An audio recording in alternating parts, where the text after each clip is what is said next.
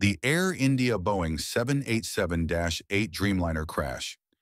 This video discusses the Air India Boeing 787-8 Dreamliner crash that occurred on June 12, 2025, shortly after takeoff from Ahmedabad, resulting in over 200 fatalities. Here's a summary. The crash.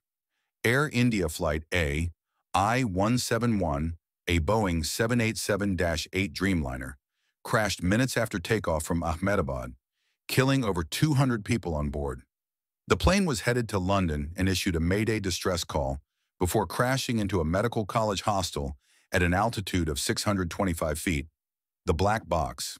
The investigation will focus on decoding the aircraft's black box, which consists of two devices, the Flight Data Recorder, FDR, and the Cockpit Voice Recorder, CVR.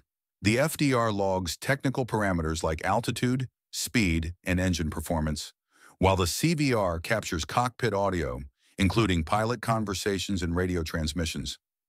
Decoding the black box data will take weeks to months, with initial data extraction typically requiring two to four weeks for intact devices. Investigation timeline.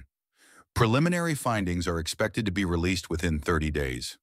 Comprehensive analysis will take 12 to 24 months, involving cross-referencing black box data with maintenance records, weather conditions, and witness statements.